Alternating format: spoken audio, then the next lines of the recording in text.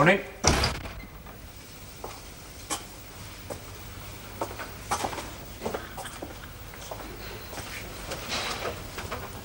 Did Thelma explain about last night? Because if she did, you must understand it was all an accident, so it's pointless sitting there in a black off. What did she say then? I'm not talking to you. Well, you might as well. It's going to be a long wait. There's a broken collarbone in there at the moment. And there's this gentleman. Well, I shan't be long. Well, you never know, do you? Might be worse than you think. Don't jump up to me. Well, I've only come for the wife's prescription. Oh, well, it can still take an age. Look, Bob, talking to me is better than a 1967 edition of Autocar. Did she explain? Thelma is not speaking to me. Thelma is having a nervous breakdown. All right. Well, I'll have Ernie in a minute then. When she arrives, you fancy making up before for solo? If it wasn't for this bad hand, I'd smash your face If it wasn't for mine, I'd smash yours back. I offered you my hospitality. I offered you my house because I felt sorry for you. I even came up there this morning to make you breakfast. I bought you some eggs, large brown organic eggs. I get there and you're in bed with my fiancée. Do you deny it? I use you nodding, man. It's obvious what happened. Thelma came to stay at the house. So I was asleep and thought I was you. Didn't want to wake me up, wake you up. So she got in beside me and went to sleep herself. Not noticing I lost two stone during the day. Where'd I been? Now look, Bob, I am the last person that.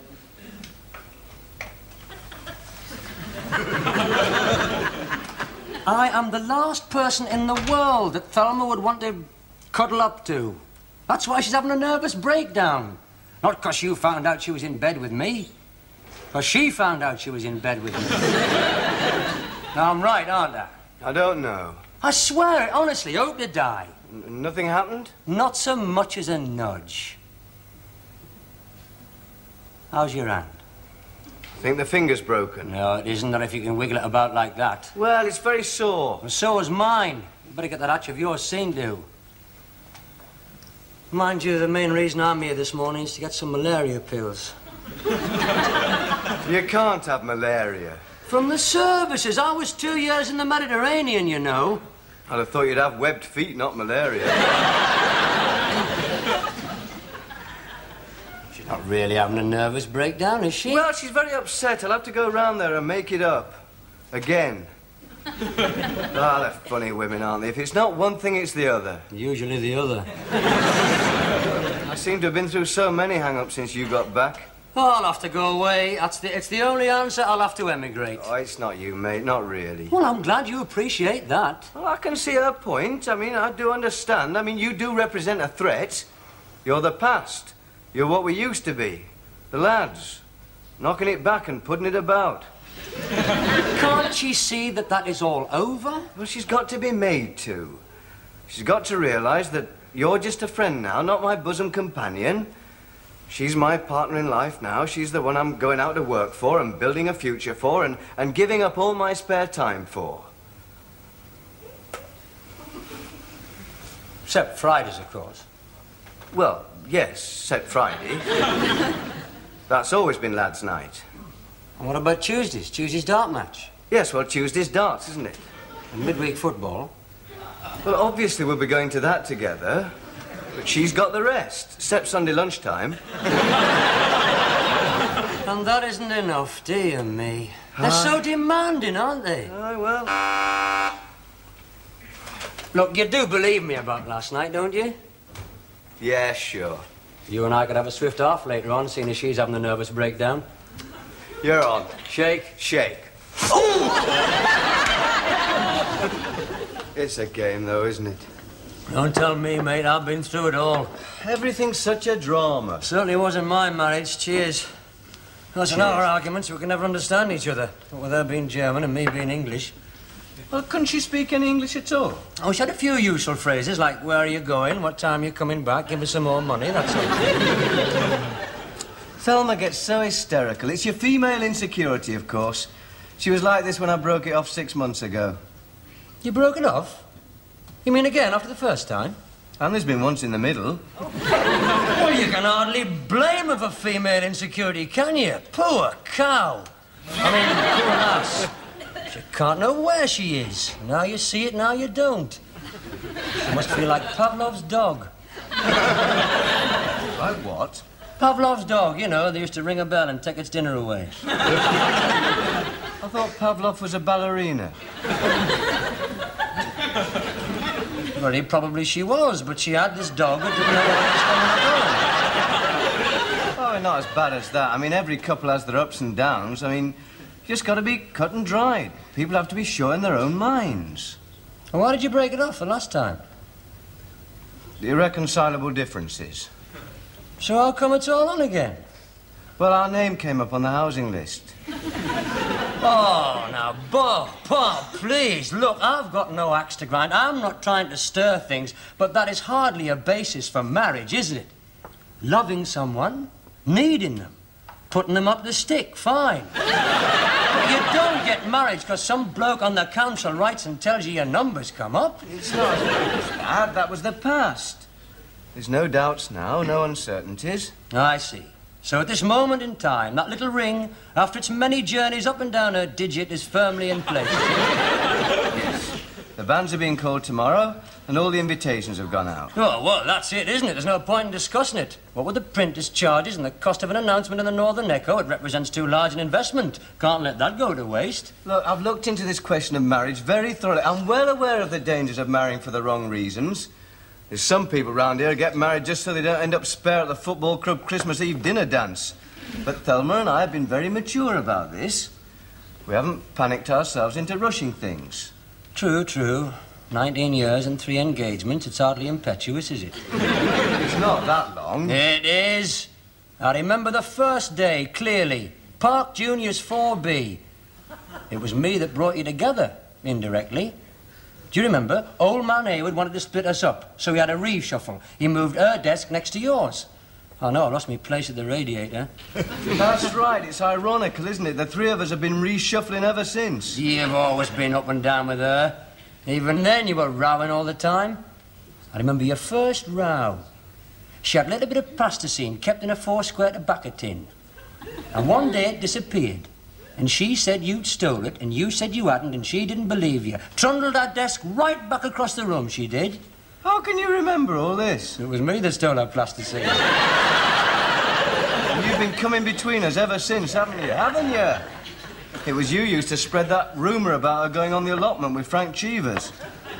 It was you that told me her brother had gone to Borstal, and her mother was in the loony bin. You've been stealing Thelma's plasticine for 19 years, metaphorically speaking. Meta, but you can tell you're marrying a grammar school girl. Yeah, that's when I lost contact with her when she went to the grammar school. When you and I were banished to the blackboard jungle, I became her social inferior. At that school, we were everybody's social inferior. I used to watch her through the railings, skipping. her blouse tucked into her thick navy blue knickers. Paul Anka put it at the time, so near and yet so far away. Billy Fury. Paul Anka. It was Billy Fury. No, it wasn't. Paul Anka. Quit on it. You're on halfway to paradise, Billy Fury. I want to be your lover, but your friend is all I'll stay. What I'm does only that half. mean? Your friend is all I'll stay. I want to be your lover, but you'll only let me be your friend. Hey, you two fairies, out. Hello, Audrey. Hello, Bob. It is nice to see you. Wipe your feet, Terry. We got the invitation. I must RSVP as soon as I can get a minute. As soon as I get this bandage off, I'm going to stick one on that fella. I see the reception's at the county. That'll be nice. Ah, I learned a few tricks in the army. How do you feel about the big day, Bob? Nervous? No, no, no, no, not, not really, no. He's terrified. He's got cold feet. In his case, cold flat feet. No, I haven't. I'm looking forward to it, Audrey. Thanks very much. Has he been stirring it? He hasn't helped. Well, don't listen to his marriage guidance counsel. I know what it's about. I've been through it all. And I know what it's about. I've been married for five years and I've got two kids and a bad back to show for it. but I know marriage isn't a breakfast food commercial. Bob, you've got to work at it. That's the secret. I tried. God knows I tried. Oh, he never, he never lifted a finger to save his marriage. It was madness in being married in the first place. Oh, but you, Bob, you'll make a lovely husband and a smashing father. If only we'd had children. Oh, don't let him give you all that about how he suffered. Oh, the heartbreak and the anguish. You want to get him to tell you how his marriage failed, Bob. That'll give you an idea of his anguish. That hurts. More than you will ever know. That hurts. He only told me about it yesterday. Audrey, did you ever meet his wife? Once. What was she like? Well, she was a very, uh, physical girl. You mean there was a lot of her? Well, it wasn't so much that there was a lot of her, but what there was, one was made very aware of. He always did like bigger girls, Terry. He always was a breast man. I mean, as opposed to a leg man or a thigh man. Oh, yes. And what sort of a man are you then, Bob? Oh, I think the face counts. And manners are very important. Yes, the face and manners. And sensitivity and deportment. Hmm. And I like big knockers and all. You lot. Your loins rule your Well, it is very important in marriage, Audrey, the physical side. I wouldn't be marrying Thelma if we weren't... Well, if we didn't... If we couldn't... if we weren't attracted to each other. I wondered why it took you six months to decorate your new house. It needed two undercoats. Aye, and an overcoat and two pillars.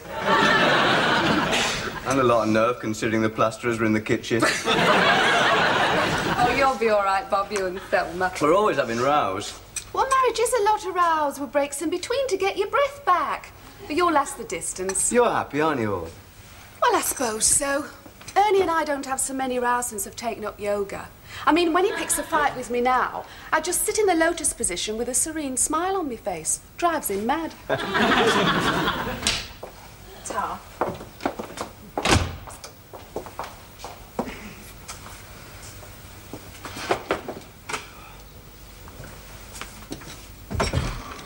Terry, What? how did your marriage end? Irreconcilable differences. No, I mean, was it having rows or another fella or, or what? I mean, what was the last straw, as it were? It all built to a climax in June 1970. June the 14th it was, 9.30 local time. I had a weekend pass, so I was spending the weekend with our family.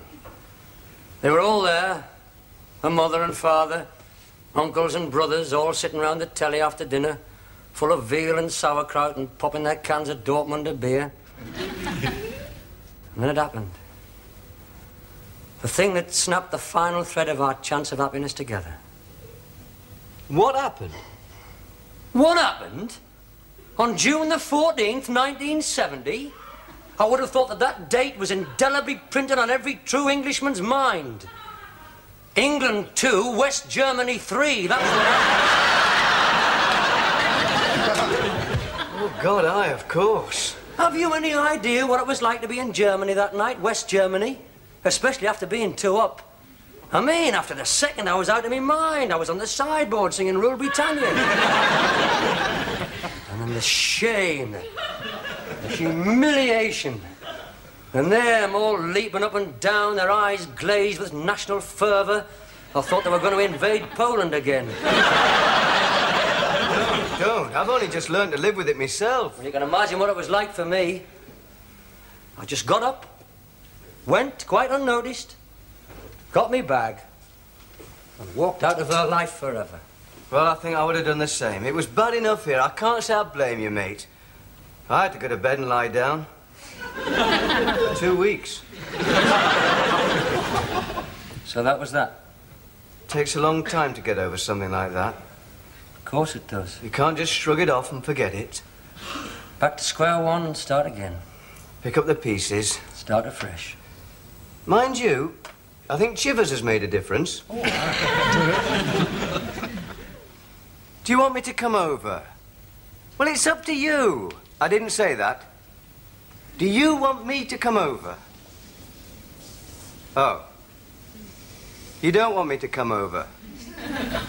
I do, I do. That's why I offered to. God preserve us. I only said I, I, I only said that in case you didn't want me to. But I want to. That's why I offered to. well, I didn't just come round in case you didn't want to see me or you were lying down. Or having one of your migraines? I didn't say one of your migraines. I said one of your migraines. Love is a many splendid. No, no, it's. Uh, I'm not with Terry Sweet. It's the wireless. I'm round at Audrey's. I'm just having tea with Audrey. Early spring. No, she can't talk to you at the moment. Uh, she's in the lotus position. Love is the way of giving. Hang on a minute. I'll, I'll just turn the sounds down, Pet. Will you stop your stirring? That's better, Thelma. Thelma? Oh. She rung off. Yes, she has. She's rung off. Uh. Thanks to you, she's rung off. Just as well. There's no end to conversations like that. So are you? I'm a what? Going over. Are you going over? You're not going over. You're not going over, because if you did go over, you might wish you hadn't gone over. Oh, shut your face, Terry. Oh, I do wish you'd come down from there. It can't do you any good, you know. All that yoga, you'll do yourself a permanent injury. Is she still upset, Bob? Hmm. She doesn't want me to go over. Ah! She stopped work on that cardigan she was knitting me. Oh, down needles, has she? Terry. It was a fawn one for weekends. I hate people who wear cardigans. Oh, like your father, I suppose, and your granddad and all your uncles, 'cause they all wear cardigans. Not that sort of cardigan, your sort, the sort Thelma will be knitting you. All wiggly, chunky wool, and beige, and fawn, and rugby clubs, and Sunday morning open air drinks, and barbecues, and cocker spaniels, and gin and tonics, and cross and black wolves. Oh, he's the original angry young man, isn't he? Except he's about ten years out of date, like his hair and his shoes. What is that supposed to mean? You're a knocker. Terry Collier, the alternative voice. Yeah, except people like him don't offer an alternative. They're just against things, everything. Not just other people's cardigans. I am against the things that threaten my liberty. I don't want to be submerged. I don't want to be suffocated by society, by conventions, by. by. Marriage. Go on, say it. That's what all this is leading up to. Pardon? Marriage, you know, this blessed union, holy wedlock. This is just another of your not very subtle attempts to kick me in the matrimonial groin. All I am trying to do is warn friends, very close friends, about rushing into things which I have learned through bitter experience to think twice about. I know all about holy wedlock. Holy necklock. Do you submit? Do you submit? Yes, well, your marriage might have been like that, a match paid for points, but my marriage is going to be a thing of joy oh. and great beauty. Oh. No wonder yours never got off the ground. There's too much meanness inside you. Absolutely. Too much aggression and hostility. Absolutely. No wonder your marriage failed on the strength of a late Gerd Muller goal. I tried. God knows I tried. Oh, Oh, do you think that was a... I shouldn't have said that, should I? You think that was a bit unkind? Oh, don't fret on his behalf, Bob. He's only gone out to get the chocolate biscuits. Oh. I do worry, though, you know, Audrey. I do worry. I mean, look at all the friends we know that have split up. Oh, we, we all left school together. We all had engagements together, all had 21st together. Now everyone's separating. I mean, I'm just getting it together, and all my contemporaries are getting it apart. Well, don't count out Terry. Oh, I don't mean him. I mean all sorts of people. Even the Sandersons have split up. Mm. Never. True? I'm surprised they could find the energy. Their marriage was as dull as a Welsh Sunday. Their divorce wasn't. Frank Clark's left home, ran off with an usherette from the Regal. He always carried a torch for her. I nearly left Ernie a few years ago, but I couldn't find the time. Tony and Ord. Tony and Ord, Doug and Glennis. What happened there? They all went on a cruise together. That was a finish. Yep, now it's Doug and Ord, Tony and Glennis. And you're having your banns read tomorrow with all these warning lights flashing round you? Yeah, I better be off and all. I'm supposed to be seeing the Reverend Gordon about the details. Gordon, the Gordon? I thought the vicar's name was Newman. Oh, didn't you hear? He left his wife. the Vicar and all? There's nothing sacred. Yeah, it was in all the local papers. Hmm? He ran off with a petrol pump attendant. He left a wife, three kids, and 21 books of Green Shield stamps from his courtship. Thanks for the tea, Audrey. I hope everything goes all right tomorrow, Bob. Ah. I see you in church. What? You what? You're not coming, are you? Well, I thought I'd pop round. Hearing's believing. What for? I don't want you there. You're up to something, aren't you? You're not going to come up with any just impediments, are you? Just depends. Does uh, Frank Cheevers on the allotment come under that? You cock things up for me tomorrow, mate. I'll smash your head in bad hand and no bad hand. Let's put the wind up his banns. What do you going to go to church for? Can you remember the last time you were in church? Aye, clearly. There was this fella splashing water all over my head. Aren't you? Don't worry, there's only one reason I want to hear those banns read. What? All the time I've known Bob, there's something he would never tell me. And tomorrow I'll find out. What? His middle name. I've always known it was Robert Andrew S. Ferris. But I've never known what that S stood for. And he's never told me, so it must be something ludicrous. I didn't know that. He hushed it up. Even on his satchel and his pencil case, he only ever put R.A.F. He's always hushed that S up. I wonder what it could mean. That's bound to be something to do with the war, a battle or a general, or even a film star. S. Hmm. S. Robert Andrew Stalin Ferris? no, no, no, his dad wouldn't even join the Union. Robert Andrew Sands of Iwo Jima Ferris. Didn't even get overseas. Robert Andrew Shirley Temple Ferris. Grant unto thy people, we beseech thee, O Lord, to avoid every contamination of the devil, and with pure minds to follow thee, the only God, through our Lord. Beseech Bob. thee, O Lord, What? What's the matter? Nothing. not able to please thee, Nothing. through our Lord. Well, pray. We will now sing hymn number 160, Holy, Holy, Holy, Lord God Almighty.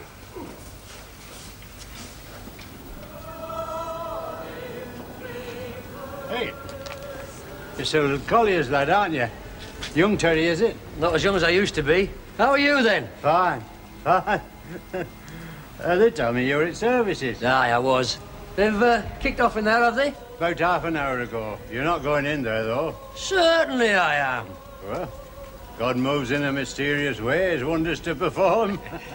Hey, listen to that. I remember that one. Holy, holy, holy, Lord God Almighty. That was a hit in my day. hey, did you hear about Reverend Newman? He loses his pension, you know. Yes, yes, yes. Look, I better get in. I don't want to miss the sermon. You'll find a seat up back. You're doing good business, are you? Aye, champion. See you then. Who wants seats? Who wants seats?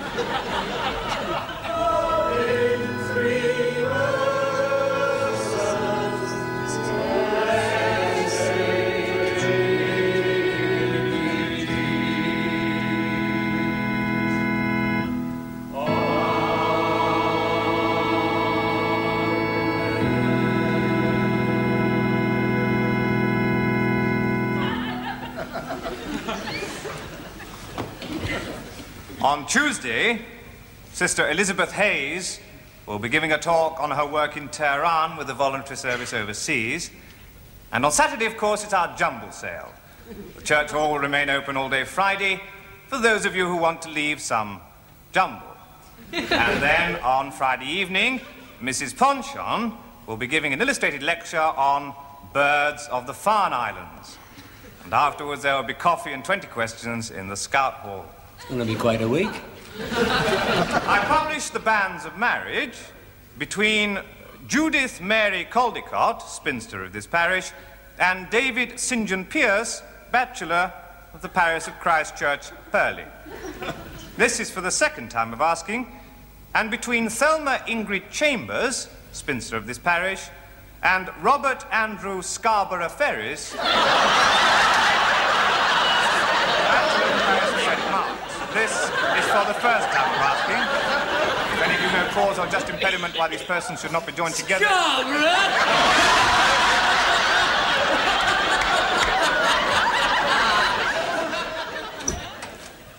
Morning.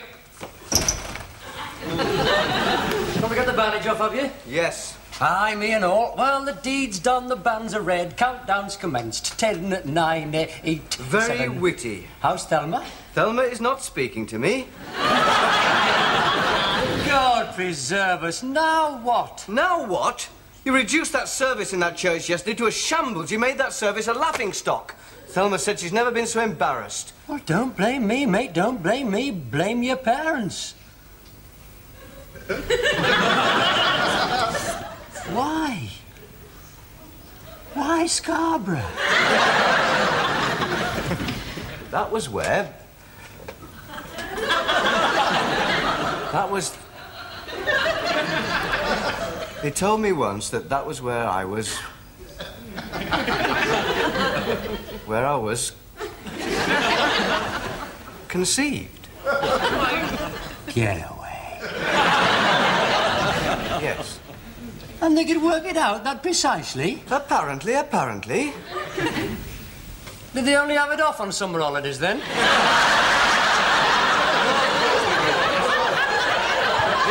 there. My father was stationed there at the end of the war. They called me that out of.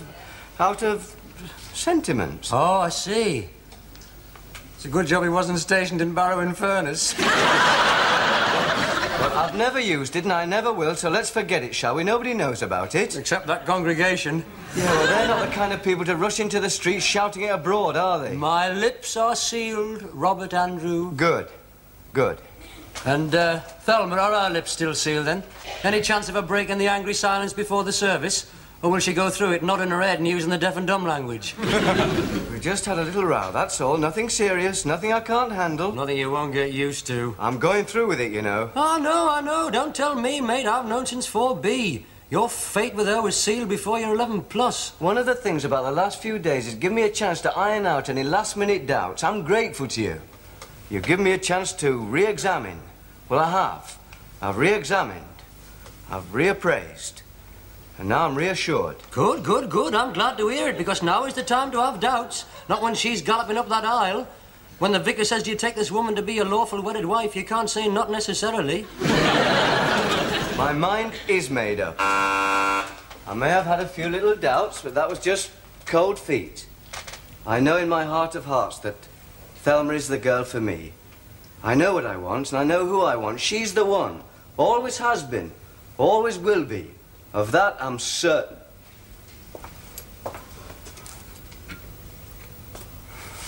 I think.